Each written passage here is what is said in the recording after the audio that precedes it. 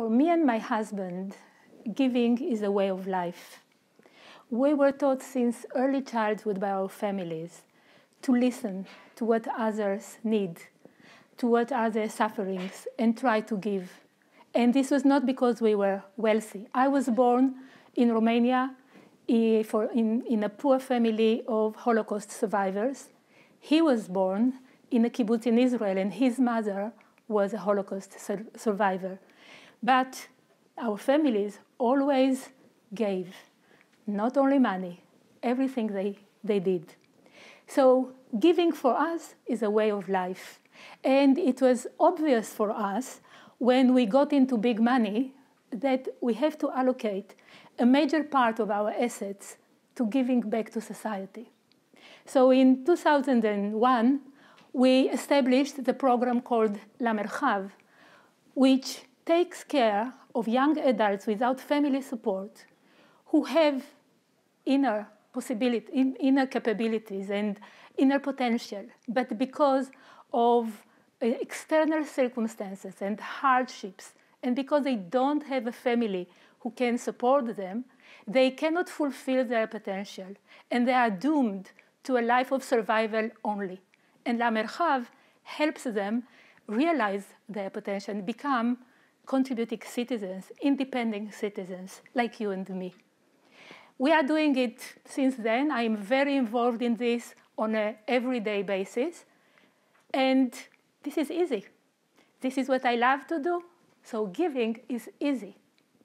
But talking about giving, no, no. This is a big no no. Give, talking about giving, it's like, oh, wow, what about our privacy? And uh, I don't want to brag. I don't want to show off. So why should I talk about giving? So maybe it's better to abide by the Rambam's saying of Matan Beseter, giving quietly. And this is what we did. And then one day I met Eli. Eli was at the time 26 years old, young, young man. He was orphaned by both parents when he was four, and he was raised up by his grandmother in Israel in a very difficult neighborhood. And now he came to meet me. He was already, he had already his first degree in computers. He was in La Merchav for eight years, and he was meeting me to celebrate his graduation from La Merchav.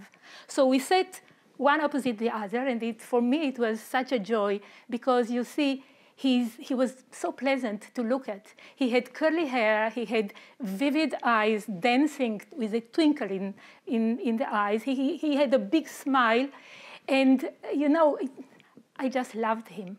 And he told me, You know, Shula, I want to tell you what I got from La Merchav in those uh, eight years that I've been here.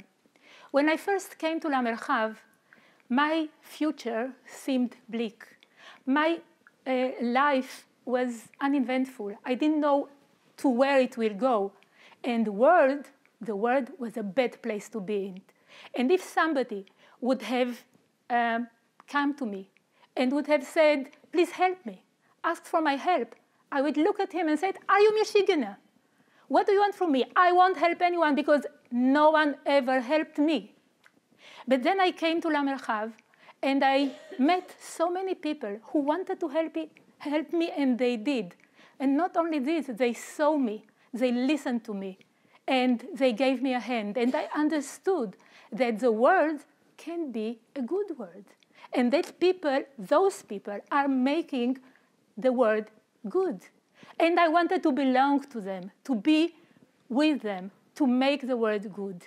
And you know, Shula, I have this rare type of blood, O negative. So I get phone calls in the middle of the night from the blood bank, and they are asking me to come quickly and donate my blood. And I don't ask for whom it is. I don't care if it's a man, it's a woman, it's relig- uh, religious or non religious, if it's an Arab or a Jew. I just get dressed quickly, leave my sleeping family at home, hop in, into my car, and I go to give them my blood wow, I got goosebumps then, and I get goosebumps now when I talk about it. What an inspiration So then I thought that he taught me something, that by talking about his giving, he gave me inspiration.